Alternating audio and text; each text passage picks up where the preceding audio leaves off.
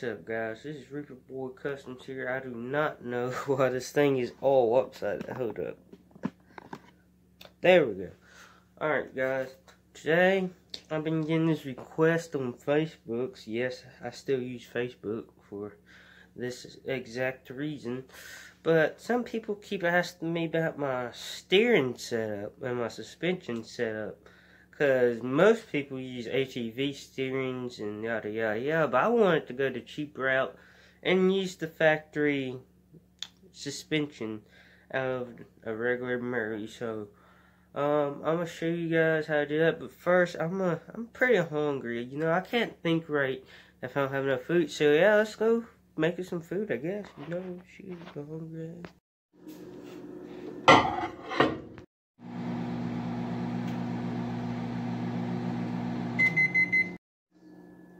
Before I do eat, here's the what it looks like. There, yes, there's ranch and cheese in it. There's ranch. There's some melted cheese in there too. So yeah, hundred percent freaking husband material, baby. All right, guys. So let's get this hood on open. There's the old Tecumseh. If you go the heck is that? Okay, I don't know what the heck. Come down here, you see there is no bolts in those little holes right there. Right there and right there. Because I had to delete those to make this whole thing pivot, right? Now here's the catch to it. Since it pivots, we cut the chunk. See where that little hole, that big giant hole is? Right beside it we cut part of that shaft off and part of the shaft off on that too so it won't hit each other. So that leads you to independent suspension like I want it now. Now the th way to keep it from flopping everywhere is to make a coilover bracket for your coilovers. So it'll keep its stiffness so this won't keep smacking on the frame and crap.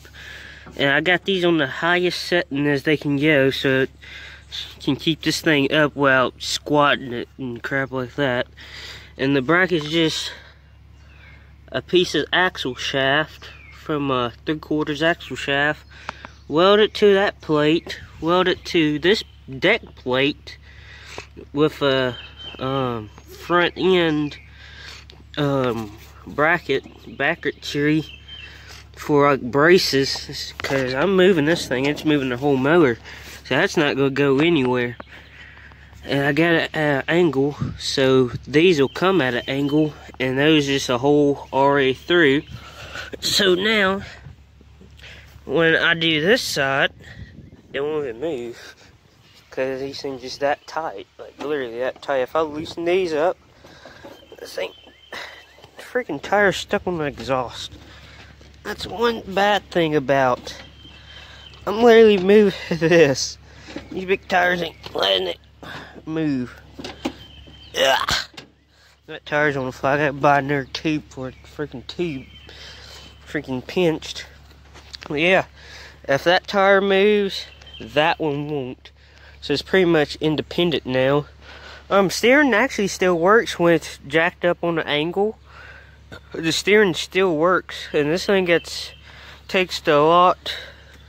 And now it's actually more stable.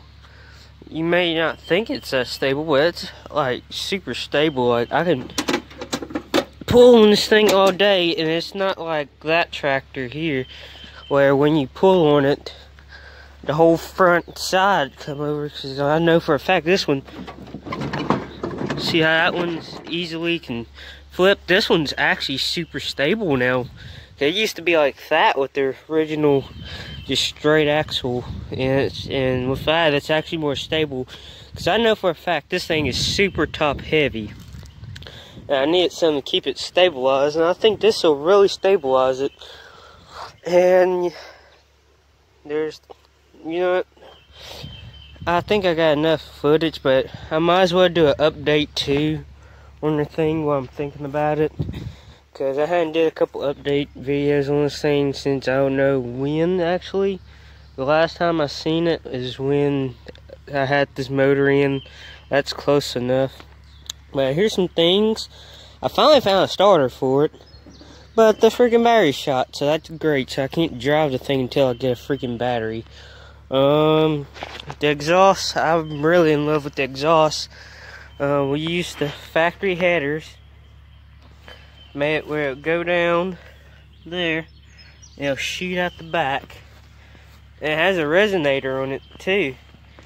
Cause that pipe has a, we put resonator pipes on it. Uh, like this one here has a resonator pipe. It goes to this two inch pipe to a three inch pipe right there you can see that little lip and it'll come back. And that two inch pipe that three inch pipe goes down to a two inch pipe. It has like a little like flange on it where it goes big and it goes back to small.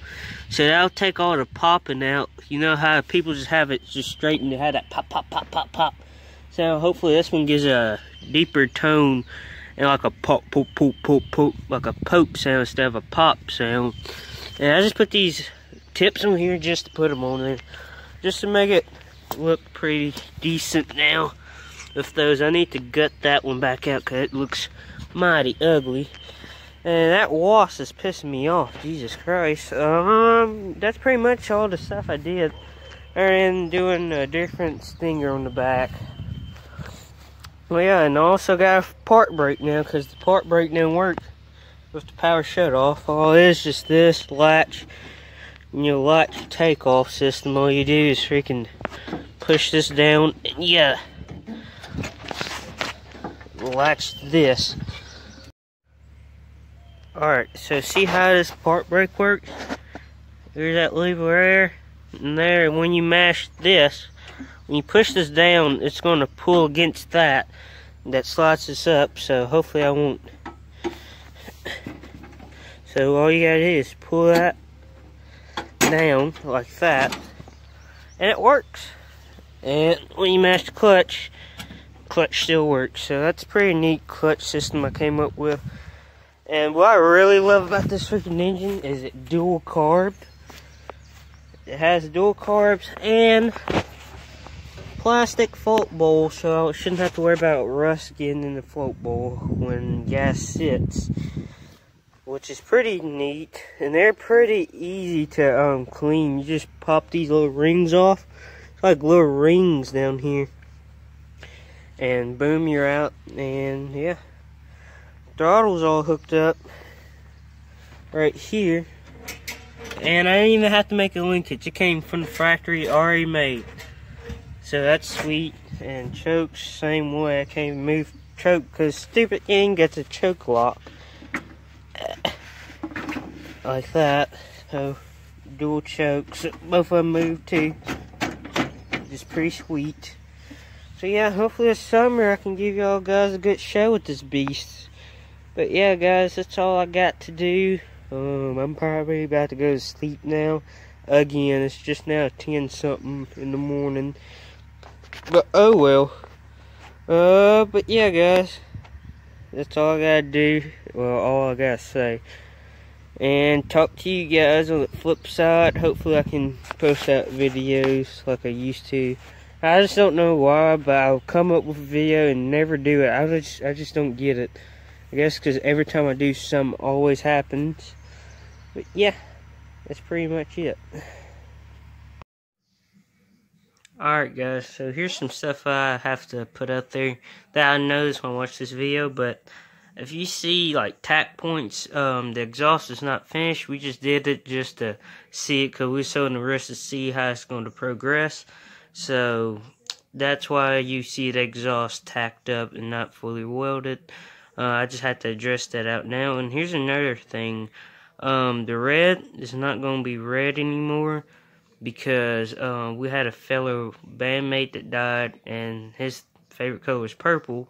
So what I was planning on doing is all the stuff you see red will be purple. I'm still keeping that gray paint job because I think that metallic gray paint job black and that purp and the purple I'm using. So and also I made this cool looking dashboard.